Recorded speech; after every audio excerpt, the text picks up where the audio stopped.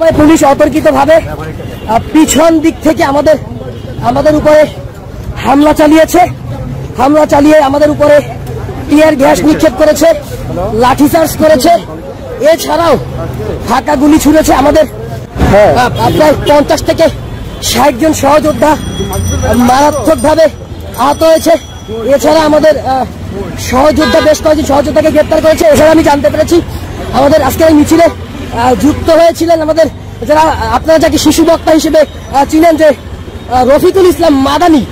সেই রফিকুল ইসলাম মাদানি আজকে আমাদের এই মিছিলে অংশগ্রহণ করেছিলেন। সেই রফিকুল ইসলাম মাদানি সহ আমাদের যুব অধিকার পরিষদের নেতা মুমতাজুল, আমাদের সিনিয়র সদস্য শিমুল ভাই সহ আমাদের বেশ কয়েকজন নেতাকর্মীকে আটক করেছে। রাজধানীর মতিঝিল শাপলা চত্বর এলাকায় মোদী বিরোধী বিক্ষোভে পুলিশের সঙ্গে যুব অধিকার পরিষদের ধাওয়া পাল্টা ধাওয়া চলছে।